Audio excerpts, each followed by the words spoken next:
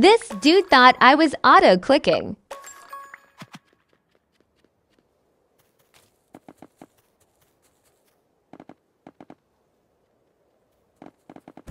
Lol, I am just built different.